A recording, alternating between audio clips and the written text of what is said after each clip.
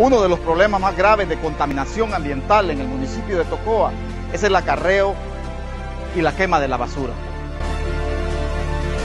Ante esta crítica realidad le proponemos la creación de microempresas que se dediquen al acarreo, a la clasificación y al reciclaje de la basura. No podemos solucionar un problema en la ciudad creando otro en el área rural. Por eso les proponemos la identificación de un terreno con las condiciones topográficas que nos aseguren la solución integral del gran problema ambiental.